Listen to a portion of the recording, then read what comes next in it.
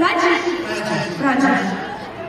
Eh, Evelyn. Evelyn y Prachi se quieren casar esta noche en este show para.